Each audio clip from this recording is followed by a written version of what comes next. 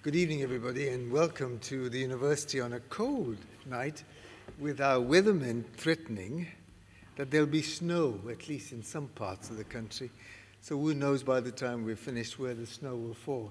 Pro-Chancellor and guests from other universities, uh, our colleagues across the university, and especially um, the, the family of Professor Shakespeare who are with us today his wife and his parents-in-law, special welcome. And uh, we remember, of course, his dear mom who can't be with us, but is um, quite old, and uh, I'm sure we are all in her thoughts as well, um, um, Steven. These moments where we stop to celebrate our new professors are very important in the life of the university. And I'm especially delighted that um, this year we have a rich crop of homegrown professors. These are people young who came to us when they were much younger, and some 10, 10 or 20 years later have passed the test of being our professors. And I, I can tell you that we don't do this lightly or hastily, and we're absolutely sure that the people who have who bear the title professor here will be professors at the best places. And our speaker this evening is one of those who um, I'm delighted to say, Steven, I remember the day you were made our chaplain, and remember your first major text, and then the rich crop of publications that came after that. So we do stop to celebrate an important moment in the life of not just one scholar, but in the life of the university. So welcome, everybody. I'm looking forward to this lecture, and I'm going to invite um, the Pro-Vice Chancellor, Professor Naga, to introduce our speaker. Professor Naga.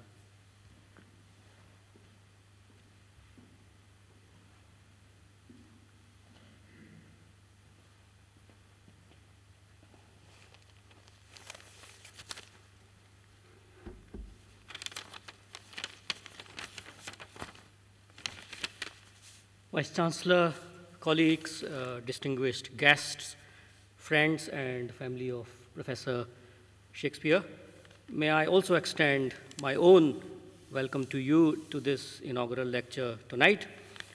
This is the second one in the inaugural lecture series for the current academic year. And I'm delighted to have the opportunity this evening to introduce our new professor and therefore our inaugural lecturer, Professor Steven Shakespeare, who holds a personal chair in continental philosophy of religion within the School of Humanities at this university. Professor Shakespeare was born and grew up in Walsall in the, in, in the West Midlands, and he was the first in his family to go to university. He graduated with a first class honors degree in theology and religious studies from the University of Cambridge. And then he completed his PhD on the philosopher Kierkegaard from the same university in the year 1994. And his thesis was supervised by Professor George Pattison. Professor Shakespeare was ordained as deacon in the Church of England in the year 1996 and subsequently as a priest in the year 1997. He published his first research monograph, drawing on the work of his doctoral thesis in the year 2001. Uh, he came to Liverpool Hope as the Anglican chaplain in the year 2003, and in 2008, he became a lecturer in the then recently established area of philosophy at this university and uh, he played an important role uh, to promote the, the, the subject uh, at undergraduate and postgraduate levels. With his colleagues, Dr. Patrice Haynes and Dr. Duane Williams, he established the Association for Continental Philosophy of Religion, which has organized five international conferences and many other events. The association has also supported two book series, of which Professor Shakespeare has been co-series editor. Um, and the current series, entitled Reframing Continental Philosophy of Religion, is published through Rowman and Littlefield publishers. Professor Shakespeare's own um, noteworthy work has included four uh, major research monographs, two on Kierkegaard, one on Derrida, and another one on the theology of radical orthodoxy. He has edited three volumes and uh, co edited a book on popular theology and has published numerous essays and journal articles. His next major publications are two further edited volumes, including a Festschrift in the honor of his doctoral supervisor, Professor George Pattison. And uh, this, uh, this volume, this is a volume that uh, he has, Professor Shakespeare has co-edited with Professor Clare Carlisle, and it is due to come out in published form around May time this year. And of course, I'm delighted to say that both uh, Professor Pattison and uh, Professor Carlisle are uh, present here in, in the audience today. Professor Shakespeare has also become known as a writer of liturgy and prayer uh, through his work such as Prayers for an Inclusive Church, which was published in the year 2009, and another work entitled The Earth Cries Glory Daily Prayer with Creation, published in the year 2019. His collection of prayer poems for the Christian year, entitled Come Holy Gift, is being published by Canterbury Press imminently, and I understand it is due to come out either the end of this month or, or, or um, uh, early next month in March. Alongside his ongoing research on philosophies of creation and nature and the theology of Mary, he is taking an MA in creative writing at Manchester Metropolitan University. As an Anglican priest, he regularly preaches and presides in the team parish of St. Luke in the city, as well as for, for Eucharists run by uh, our own university's chaplaincy team here. He is a member of the Sodality of Mary, a dispersed community of priests in the Anglo Catholic tradition. He is a fellow of the Oxford Center for Animal Ethics and a patron of the, of the Anglican Society for Welfare of Animals. And so it is a genuine delight and joy for me to invite Professor Shakespeare, our professor of continental philosophy of religion, to deliver to us his inaugural lecture entitled Romancing Nature Philosophy of Religion in an Age of Ecological Crisis. Shakespeare.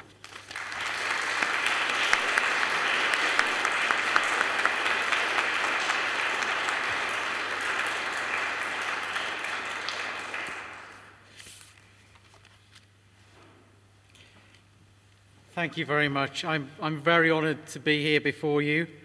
Uh, Vice Chancellor, members of Hope's Senior Management and Governing Council, uh, invited guests, family and friends, and uh, particularly pleased to welcome some of my students here.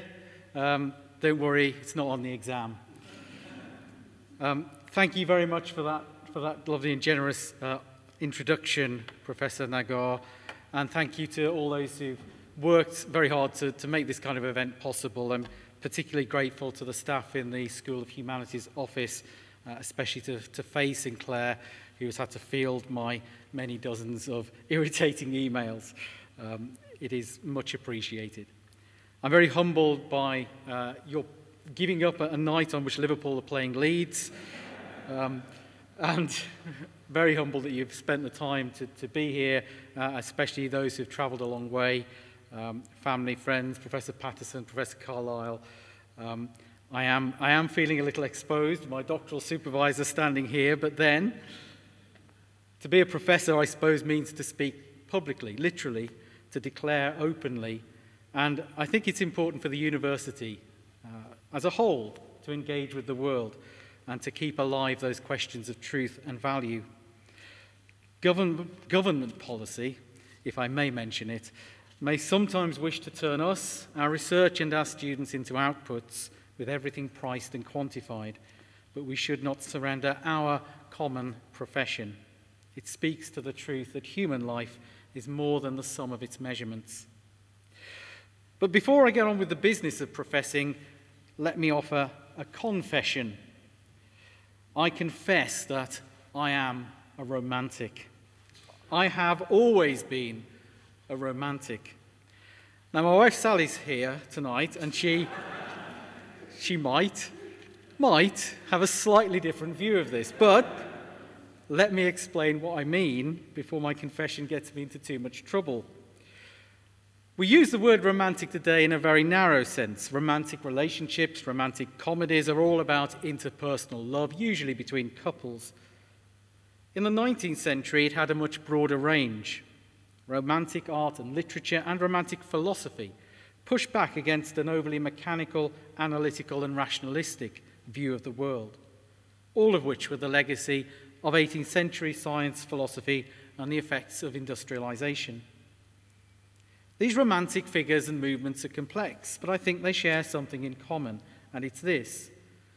What defines nature is not mechanism, but life, and life is more than the sum of its parts. Nature is a living, interconnected whole, and can only be truly known and encountered by a living subject. Nature is not known merely by detached mind and measurement, but with all the resources of the spirit imagination, emotion, creative expression. We may think of philosophy as a game played in the ether of the mind, but for the Romantics, it is a loving, embodied knowing which delights in the world. As the great German Romantic poet and thinker Novalis puts it, in the most authentic sense, philosophizing is a caress, testimony of the most intense love of meditation, absolute pleasure in wisdom. The Romantics pick up an older strain of philosophical wisdom, which argues that to know nature is to be in union with it while also realizing we never fully grasp it. Nature defies being controlled and con- captured and controlled. It is excessive our experience of nature can only hint at this in a series of brilliant fragments, all interconnected, but none of them offering a systematic, God's eye viewpoint on the whole. It's in this sense that I've always been a romantic before I knew anything about philosophy. What fascinates and compels me are fragments, shards of experience which glow with an intensity, an inner life which beckons me to a threshold onto something unfathomable but whole. Still, while that might help clarify what I mean by being a romantic, it may not get me much respect as a philosopher or a thinker in general. Romanticism might be associated with great poetry and music, but philosophy? Isn't romanticism just a bit too away with the fairies, nymphs, and dryads to be any use to rigorous thought and logic? Romantics seem to put vague notions derived from the imagination and intuition before clear distinctions or empirical proof. Where they do engage with science, they are, from our point of view, hopelessly out of date. Grandiose and pretentious, the Romantics are best left in the philosophical footnotes of history. I disagree entirely with this assessment. Grandiose and pretentious sounds good to me. I am a romantic after all. But in all seriousness, the marginalization of romanticism in philosophy is flawed, and scholarship is now better appreciating the philosophical commitments and subtleties of romantic thinkers such as Novalis, Schlegel, and Schelling. And I'm especially indebted to the work of scholars such as Alison Stone, Susanna Lindberg, David Krell, and Dalia Nassar. Romantic thought in the early 19th century shapes everything that follows from idealist and Marxist thought to many of our contemporary debates about the relationship between art and reality, between science and faith, questions of gender, embodiment, and identity, and of course, our place in nature. But this isn't just for me a question of historical influence. The Romantics can help us. They shed crucial light on our own ecological dilemmas. They challenge our overly dualistic, individualistic, instrumental, consumerist, and denatured ways of living and thinking. Romantic thought rekindles the ancient insight that philosophy is about a way of life and not just a set of intellectual tools. It can speak to us because the breakdown in our relationship with nature is not just a problem of policy, technology, or investment. It is all of those, absolutely. But the issue goes deeper into the roots of how we inhabit the world, our fundamental view of ourselves and what nature is. It is broadly a spiritual issue, by which I mean it concerns our capacity for wonder, our capacity to encounter and love what is genuinely other. In that sense, the spiritual is also inseparable from the political, the scientific, and all the issues of power relationships and colonialism which feed our current ecological breakdowns. And this is precisely why the Romantics offer something to us not cheap solutions, but an invitation to inhabit the world differently, to see ourselves as expressions of nature, not as nature's rulers. As I've indicated, Romanticism is one of those terms it's hard to pin down. My own focus is going to be on the German Romantics, uh, writing around the turn of the 19th century, and particularly their understanding of nature. This was a period in which the likes of Novalis, Friedrich, August, and Carolina Schlegel, Friedrich Schelling, Dorothea Veit, and Friedrich Schleiermacher were the epicenter of an incredible ferment of literary activity, journal publishing, and collaboration in the cities of Jena and Berlin. Although associated with literature and poetry in particular at first, the concerns of this group were far wider than any specific genre of writing. And one way of understanding the development of their perspective is through the work of the philosopher and poet Friedrich Schlegel. After an initial dissatisfaction with the literature of his day, which he felt fell short of classical models, Schlegel identified a positive potential in it.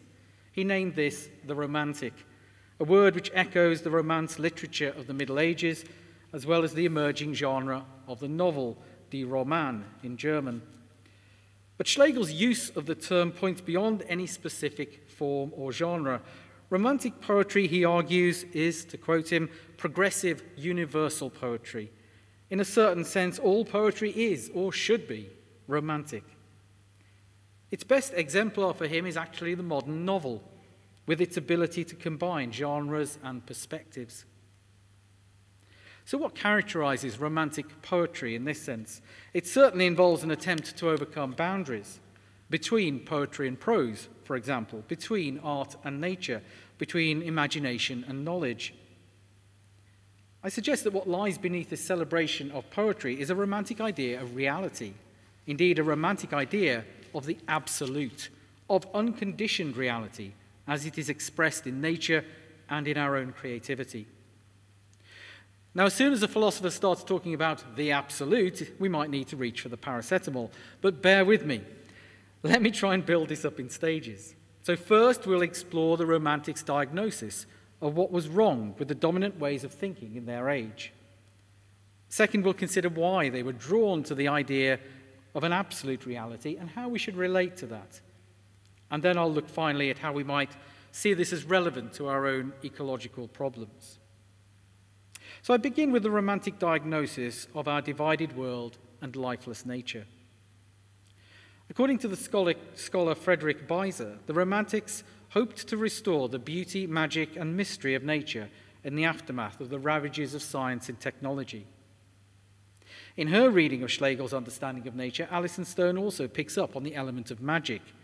Schlegel's aim is to reject the idea of a disenchanted merely mechanical nature. For Schlegel, Stone writes, humans would enchant nature by perceiving it as partly mysterious, not fully rationally comprehensible. I think it's uh, important to understand this kind of statement because some of the statements made by romantics like Novalis and Schlegel seem to suggest that we enchant or romanticize nature just by looking at it differently, casting a poetic veil over it, a grand version of looking at the world through rose tinted spectacles. But this does not get to the root of the story.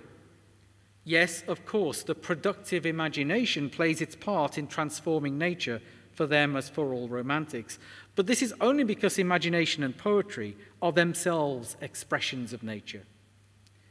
Nature is not known as a cold and detached object standing over against us, but as an unfolding, dynamic life expressed in and through us. Key to this is the sense that nature's own life is creative metamorphosis and productive expression. So it's important that the Romantics are not asking us to get lost in fantasies of our own creation.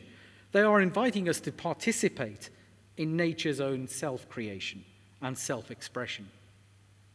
And this is a position which I think rests on serious philosophical reasoning. The Romantics argued that the philosophy and science of the 18th century, at least that which was dominant, left a damaging legacy. It presented a dualistic view of the world, which separated mind from body, reason from imagination, thought from feeling. In response, the Romantics argued we needed to integrate our understanding of reality. They claim that our sense of the world will be fundamentally shaped by the rules we impose upon perception and knowledge. If I say I will only accept as evidence for reality what is material, empirical, and quantifiable, then I will dictate in advance the kind of reality I will find. And that will limit what I am able to encounter. It will cut me off from the potential to encounter anything which transcends those limited categories of knowing and perception. I will find what I set out to find and nothing more. For the Romantics, then, the success of modern science and technology had come with a price. And that was the elevation of one method of thinking above all analysis. Analysis, in this sense, means breaking something down into its component parts in order to understand it. Of course, this can be a useful tool. The problem comes when it becomes our only method of understanding things. The Romantics argued that analysis failed when it came to understanding complex living wholes, such as organisms or works of art. Friedrich Schlegel, for example, writes that the isolating understanding begins by dividing and dismembering the whole of nature. And the violence implicit in that language is not accidental. Analyzed reality is dissected reality, torn into isolated and lifeless elements we lose a sense of the whole being more than the sum of its parts. Exclusively analytical methods go hand in hand with a dogmatically mechanical interpretation of how the world works. The world as machine is a world free of any value but efficiency, in which instrumental levers of power alone dictate the outcomes. Ideas of beauty, freedom, and moral value begin to look nothing more than subjective fantasies, the froth on the top of those chemical reactions, which are really all that there is. The Romantics reject this view. Their basic contention is that we tend to separate what in life belongs together. They critique a purely mechanical philosophy as itself a fantasy, a projection of a one dimensional model on all of nature which ignores the crucial fact that our own creative thought is part of nature. To do justice to both our thinking and to nature, we need to overcome this divided mentality. This is why Novalis refuses any ultimate division between philosophy and poetry. Rational investigation into logic and truth is inseparable from the creative re expression of nature's processes of becoming. As he states, the separation into poet and thinker is to the disadvantage of both. It is a sign of sickness. A philosopher who uses analysis alone is a one trick pony, trapped in a prison of blinkered perception.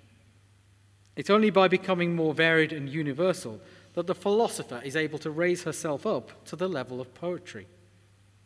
If, to quote Novalis again, the diversity of the methods increases, the thinker eventually knows how to make everything out of each thing. The philosopher becomes a poet. The poet is but the highest degree of the thinker. For Novalis, then, the poet is in turn a witness to a higher life with an almost priestly ministry of mediation.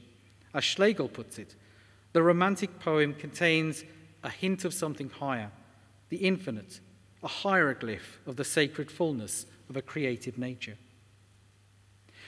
Now, remember again that poetry here is not limited to poetic verse, although it includes it. The romantic conception of poetry, I suggest, points to a stance, a quality of attention and engagement and creative entanglement in and with nature. I think this helps to make sense of Novalis' famous statement from 1798, where he says, The world must be romanticized. This yields again its original meaning. By giving the common a higher meaning, the everyday a mysterious semblance, the known the dignity of the unknown, the finite the appearance of the infinite, I romanticize it. For Novalis, to romanticize the world is to raise it to a higher power, to see in the everyday and finite a partial expression of the infinite. But this is not pure invention. We are reconnecting with the world's original meaning, discovering something, not making it up. We do this by sharing in nature's own infinite, restless capacity for expression and change. This is why Schlegel thought the ideal image of the philosopher was the plant, rooted, absorbing nutrients, and in response, unfolding and transforming its being in the world. So the Romantics were convinced that a truly adequate philosophy of nature was both realist and idealist.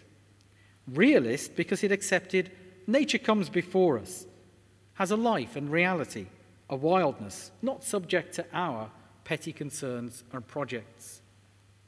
Idealist because nature always seeks to express itself and so blossoms in our own consciousness and creativity, in the ideas and works through which we connect with and transform the world around us. Romanticism is a realism it responds appropriately to what is real and does not box it into dead categories of mechanism or materialism. So we're already seeing how this diagnosis of the ills of Western culture leads to a re evaluation of nature and how we stand in relation to it. But to really do justice to this, we need to think about how the Romantics thought of the fundamental nature of reality and why they were drawn to the notion of gulp and absolute. Romantic philosophy was hugely influenced by the thought of Immanuel Kant. This may be surprising because Kant has the reputation, perhaps unfairly, of being one of the most boring of the great philosophers, whose daily walks in Königsberg were so regular you could set your clock by them. But I want to pick out two elements of Kant's work which had a profound impact on Romanticism. The first was the idea of the unconditioned. Basically, Kant argues that reason tries to explain things in the world in terms of their conditions, the limiting factors and causes which make things what they are and not something else. But Kant thought our reason could never be satisfied by partial explanations.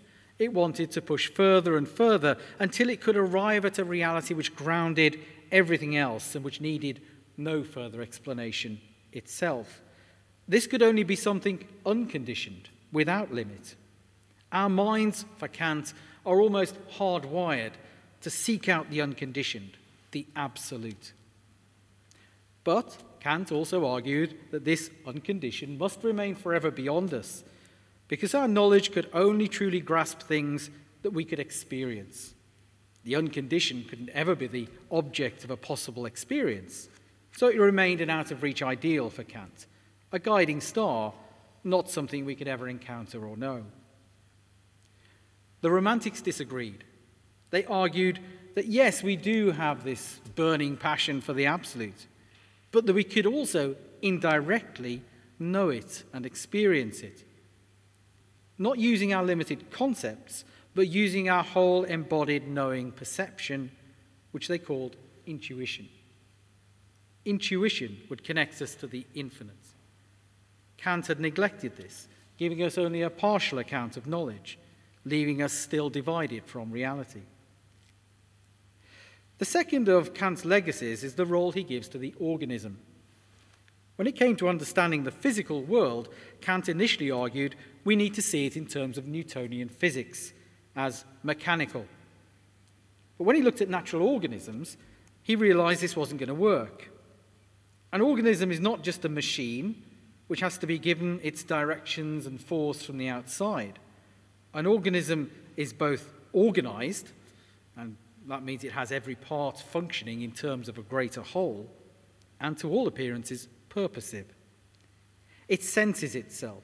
It lives by internalizing its perception of the world and its nutrients, not merely by reacting to external causes.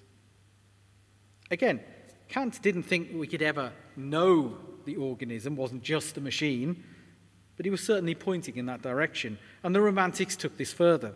For them, the organism becomes the basic model for nature as a whole.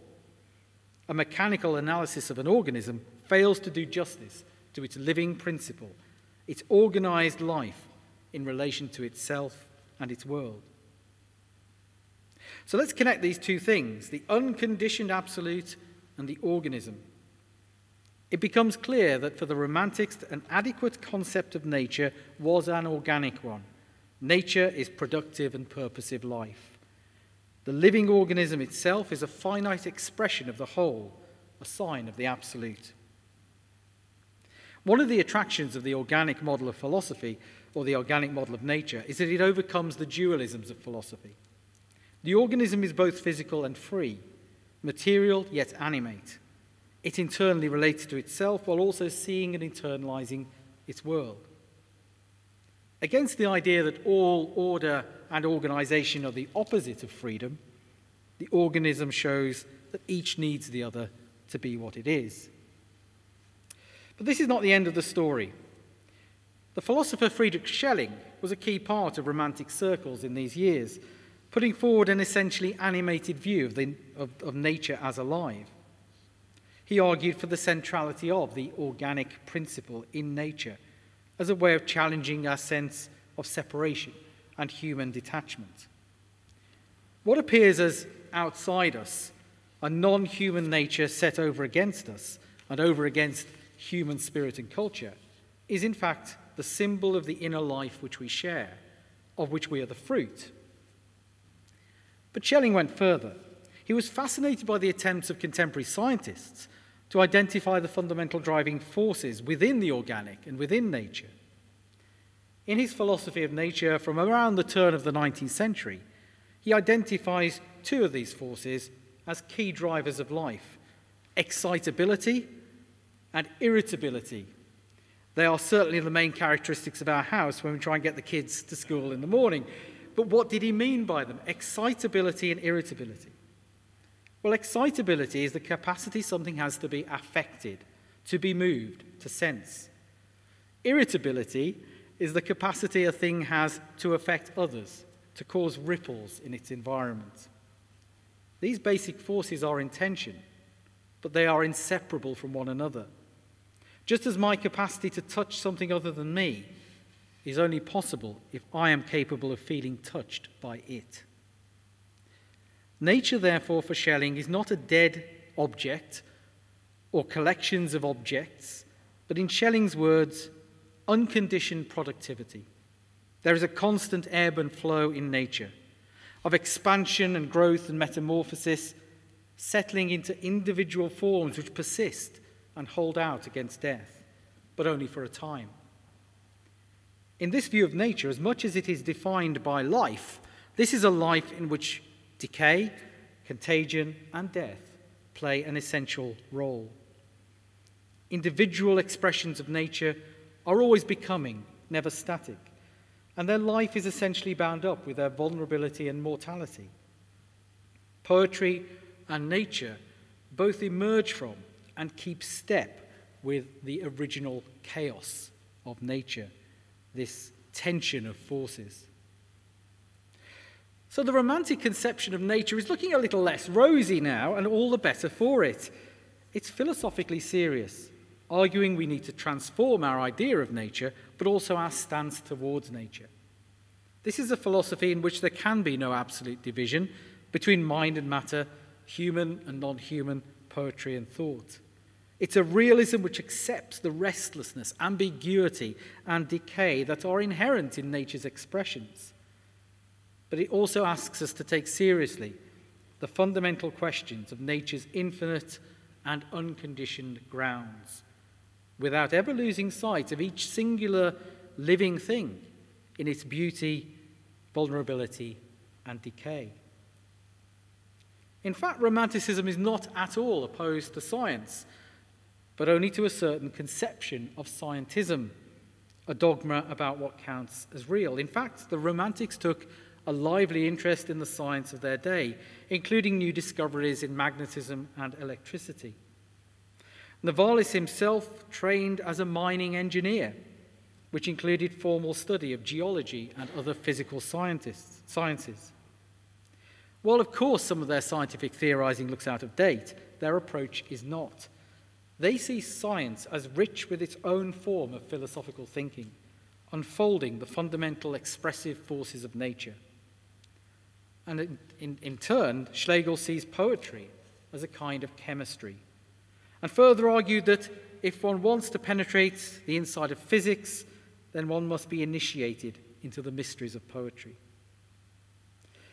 Again, poetry is held up as important because it is this chemical, alchemical transformation of elements, as much magical as physical.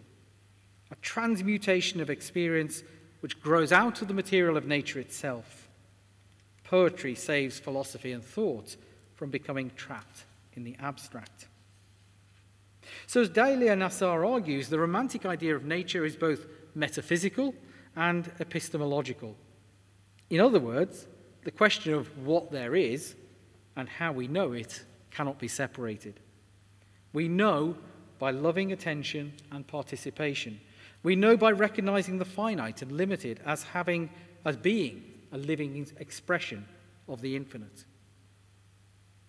For all the romantic, sometimes troubled relationships with Christianity, this is essentially a sacramental, incarnational understanding of nature.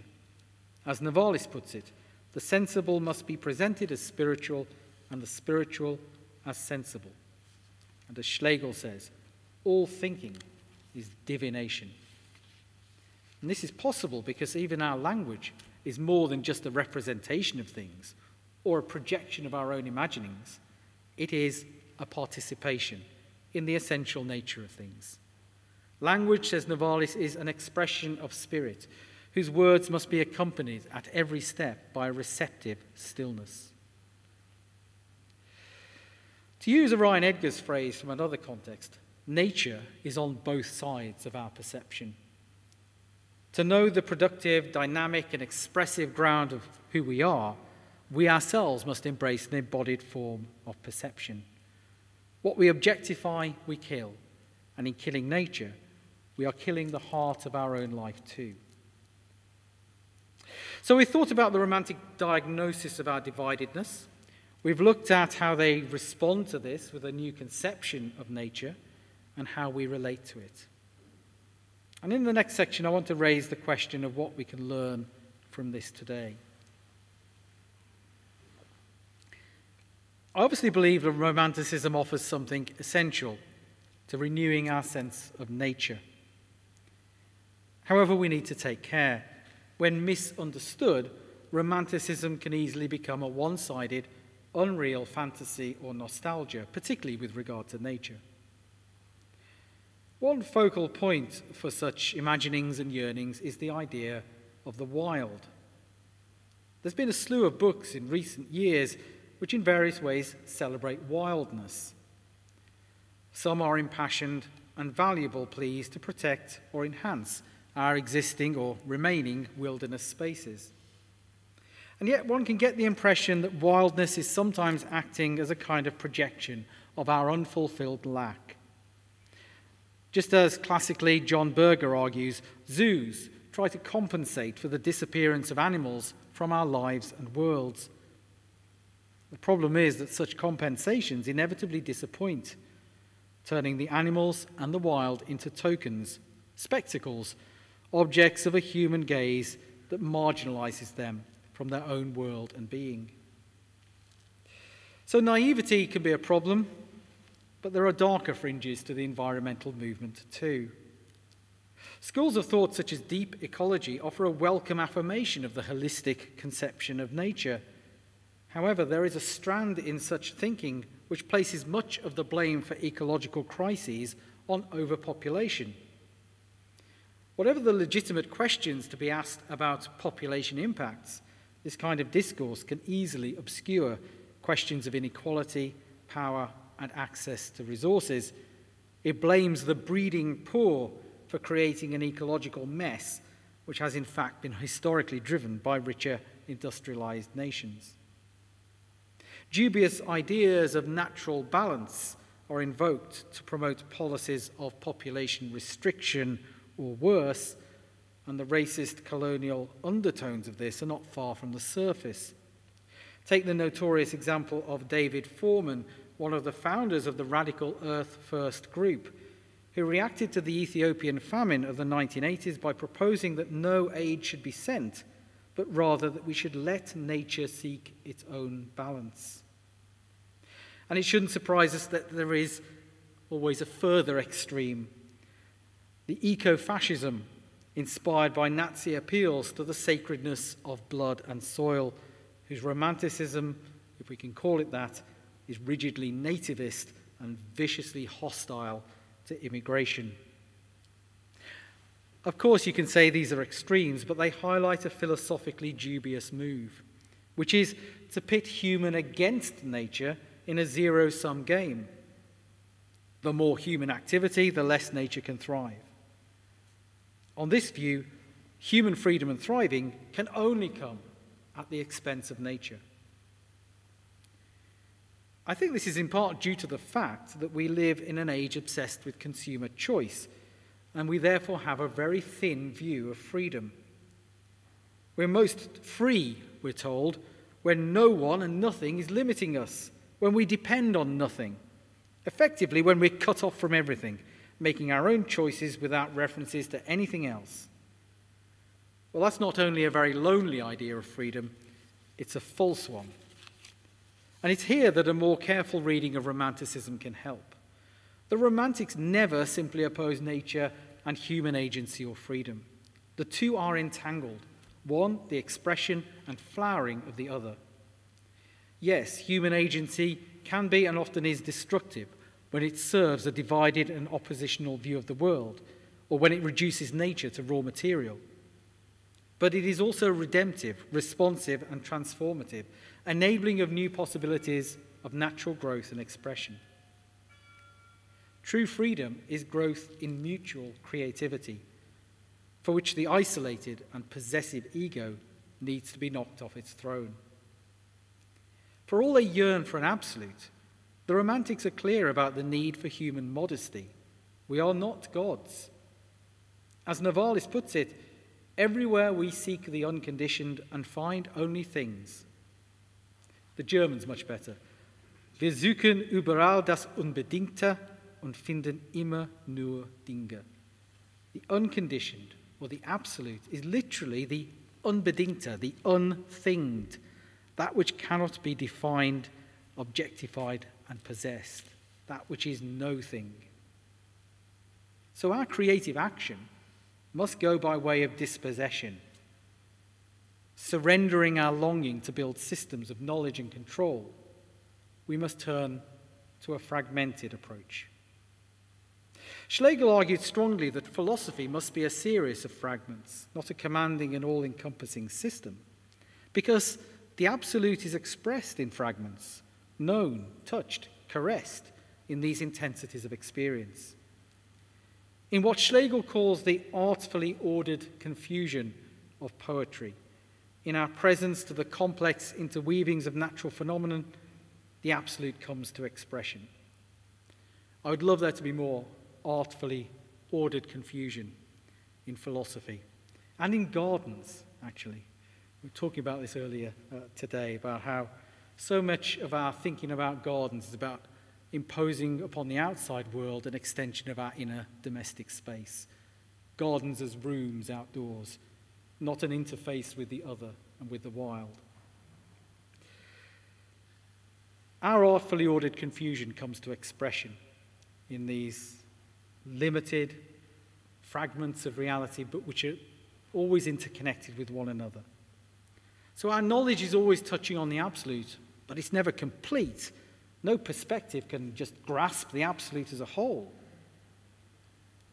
So I think it's important to remember that for the Romantics, the absolute, which may sound very impressive, is not a crushing weight or an amorphous soup which dissolves all our differences, but the matrix within which all differences are related.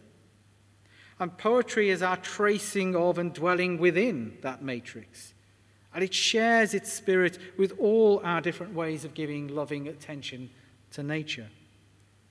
That creative attention and intuition is itself a work of nature, allowing the primordial poetry of nature to find a voice. Seen in this light, Romanticism can shed light on our current ecological anxieties and concerns. A case in point is the rewilding movement, which is starting to play a bigger role in the management of landscapes in the UK and across the world. Rewilding is a controversial movement because of the way it critiques traditional agricultural land management. Last year, the organisation Rewilding Britain had to withdraw from a major project connecting the mountains to the coast in mid Wales. One reason for this was that George Monbiot, a leading light in the rewilding movement, portrayed sheep farming as the equivalent of a plague on the land. This didn't win many friends in the farming communities of Wales, who were key partners in the project. Well, of course, there are perfectly valid critiques of contemporary agriculture, especially where the big concerns turn the countryside into a series of arid monocultures. But there is a balance to be struck a recognition that farmers and farming are part of the human transformation of the land and can possess a much needed wisdom as more connected, diverse, and sustainable practices are developed. That balance between natural, natural processes and human creativity is actually essential to rewilding itself. Take the now fairly well known example of the, of the Knepp estate in Sussex. Knepp estate is owned by Charlie Burrell and Isabella Tree, handed down through Charlie Burrell's family. It's difficult farming terrain, heavy clay sitting over limestone. After struggling for years to sustain farming on the land, in 2000 Burrell and Tree faced failure. The dairy herd was sold and the arable fields rented out. Now, that could have been the end of the story, but in 2002, they tried a new approach, allowing natural processes to take a lead in restoring biodiverse habitats. On the one hand, this kind of rewilding, as it's come to be called, means taking a step back, not, in, not intervening, for example, when invasive species seem to be taking a dominant hold allowing scrub to form and spread, letting the dreaded ragwort flourish. But it would be totally wrong to imply that this is not a managed process. What Tree and Burrell aimed to do was to intervene appropriately to restore a lost ecosystem, one which uses large grazing animals as a key element. They're inspired by ecological work which has called into question the idea that the ancient pre agricultural landscape of Europe was all densely wooded. Evidence now suggests the landscape was actually a mixed economy of open grass and scrub alongside woodland. And the larger grazing animals are essential to this. They intervene in the lands, they clear space for scrub to grow, for larger trees to grow within the protection afforded by the scrub, affecting the whole development of landscapes and watercourses. Grazing animals act as a force of disturbance, re expressing nature, keeping the landscape dynamic, opening niches for a vast variety of species. And of course, Knepp is a human experiment. Funding has to be found to fence it off and prevent animals roaming beyond its borders. The animals themselves have to be introduced longhorn cattle, Exmoor ponies, Tamworth pigs, roe, fallow, and red deer. Visitors are encouraged, but also managed. So, rewilding, when we really look at it, is not simply about a total absence of human interaction, nor is it about reversing time and going back to how things were in some past golden age. But positively, it's about learning from ancient mixed ecosystems before the human obsession for industrial farming and monocultures took hold. And it does mean, outside the grazing animals and restored water systems, a radical reduction of human led control, allowing, as I've said, invasive species to spread, allowing trees to stay where they fall, allowing and holding back sometimes from reintroducing species to see what turns up. The result has been an explosion of wildlife in just 17, or actually 19 years, I think now. Knepp now has more purple emperor butterflies than anywhere in the UK. Bird species, including nightjars, nightingales, and turtle doves, are established. All five British owl species are present, along with 13 out of the 17 British breeding bat species. More important than considering each species in isolation, however, is the way that allowing the landscape to a large degree to look after itself has, the complex interrela- has allowed that complex interrelationship between herbivores, birds, insects, water, land, plant species, and more to take root. It's enabled biodiversity to explode. These really are networks of life, creative, dynamic, and expressive. There are important lessons to be learned here. A realistic hope that the dead hand of modern intensive industrialized farming and fragmented urban development could be lifted, and how quickly biodiversity can expand when we do that. But there are also wider, more philosophical lessons.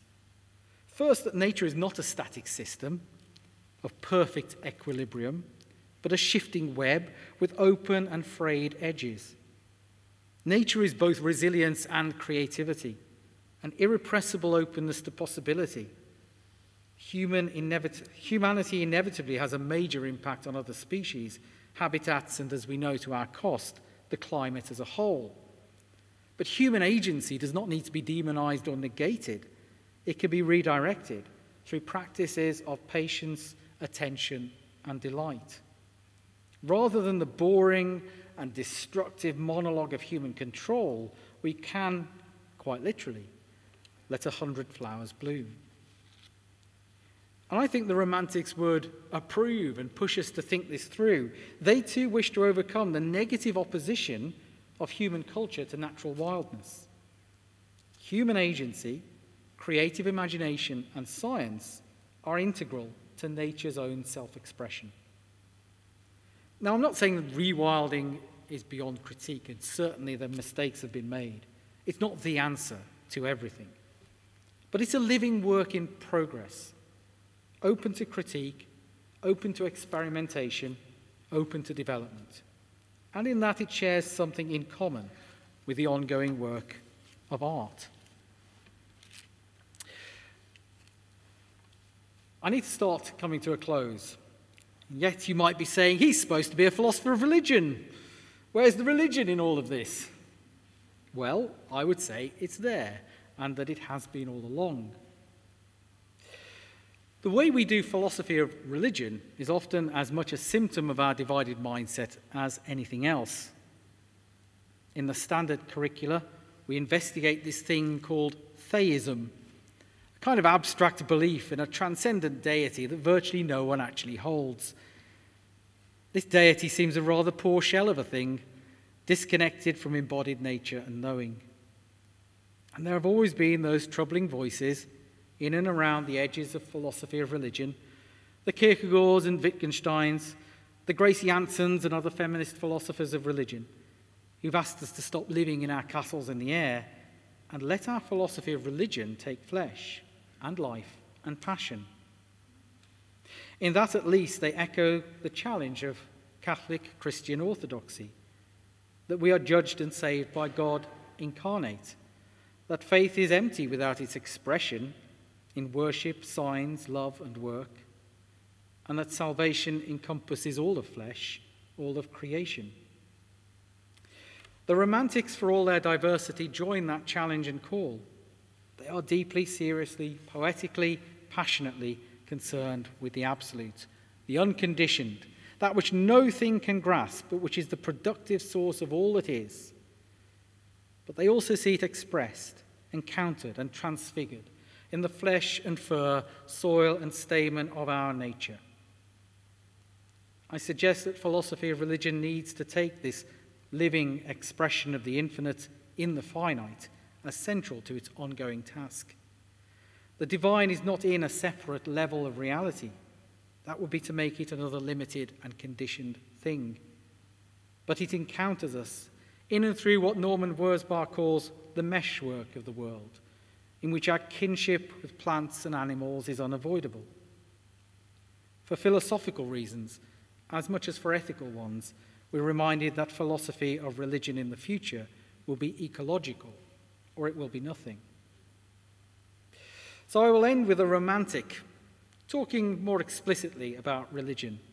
Friedrich Schleiermacher, in the second of his speeches on religion, says this The universe is ceaselessly active and at every moment is revealing itself to us. Every form it has produced, everything to which, from the fullness of its life, it has given a separate existence. Every occurrence scattered from its fertile bosom is an operation of the universe upon us. Now, religion is to take up into our lives and to submit to be swayed by them, each of these influences and their consequent emotions, not by themselves, but as part of the whole, not as limited and in opposition to other things but as an exhibition of the infinite in our life. Here's to the romantic in all of us. Thank you.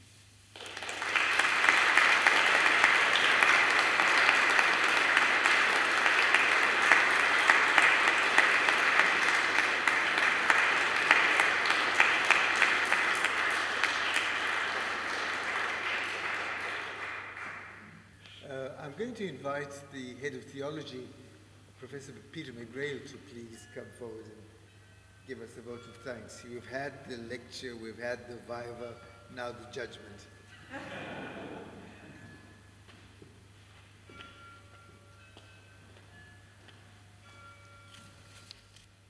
Thank you, Vice Chancellor. Professor Shakespeare opened his lecture with a confession and he concluded it with a toast. Here's to the romantic, he said in all of us. In the same spirit, permit me to make a confession. I have spent decades trying to drive out the romantic from me. The Sturm und Drang of adolescence found a perfect reflection, not in romantic poetry or philosophy, but in its musical counterpart. So if I recall my sixth form and university years, the memories play out against the sonic background of the likes of the late Beethoven, Schumann, Liszt, and above all, and most intoxicatingly, Richard Wagner.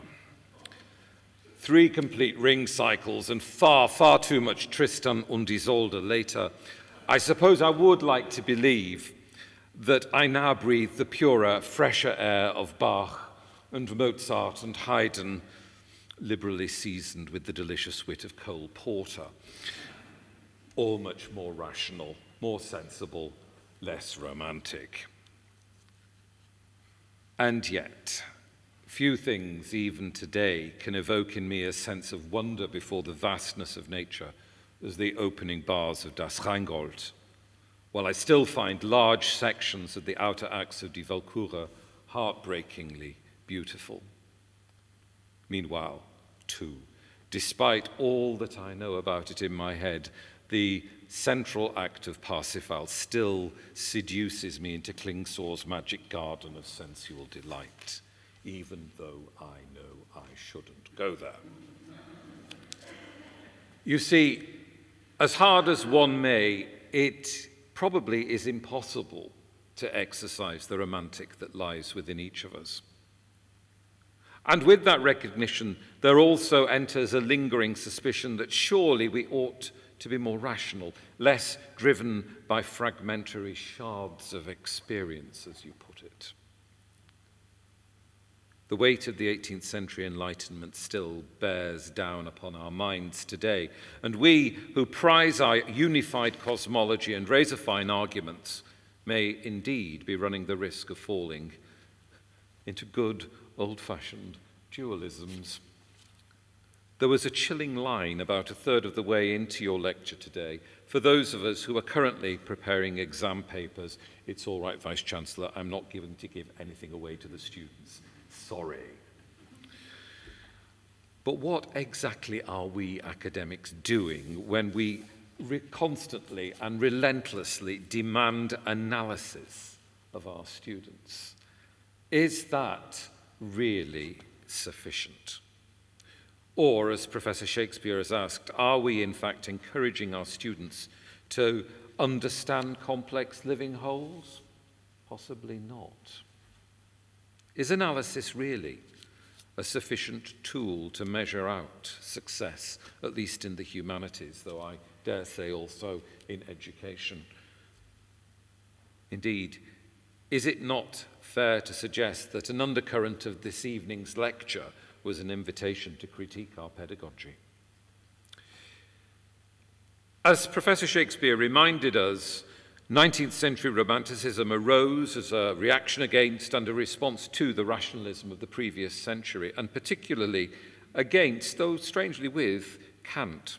He did argue that the engagement of the Romantics with the philosopher of Königsberg was complex, rejecting his proposal of the unknowability of the unconditioned, whilst grasping and pushing forward Kant's idea of the organism.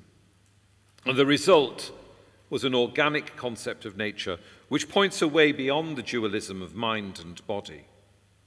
In that way, as Professor Shakespeare suggested, the philosophical enterprise becomes a spiritual endeavor. It concerns, he said, our capacity for wonder, our capacity to encounter and to love that which is genuinely other. The turn to the ecological was hinted at several times in the lecture.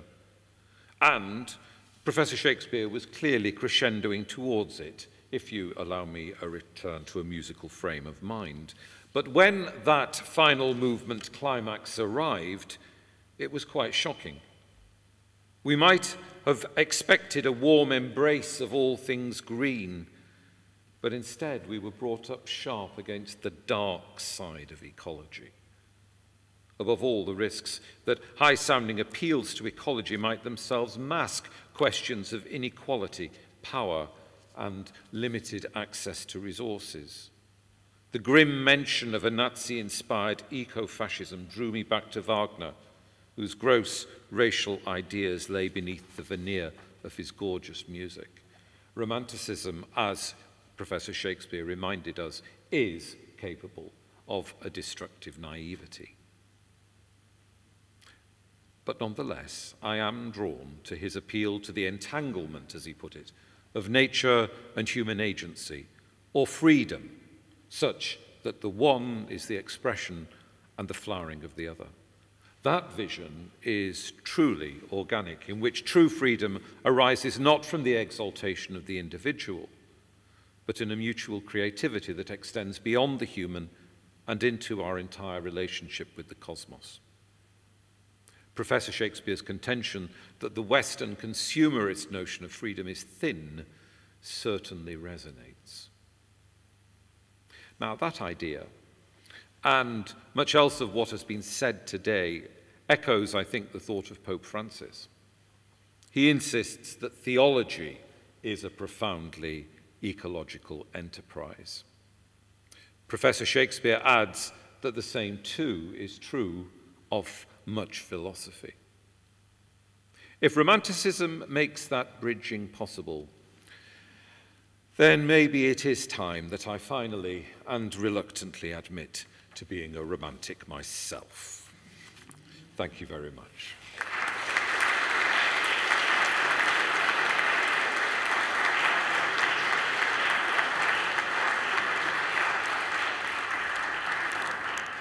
Thank you very much, Professor McGrail. Professor Shakespeare, would you please uh, accept this as a little memento of our evening and this special evening uh, in your life, but certainly in the universities? Just a little token of appreciation and congratulations on a fine lecture and for bringing us all together.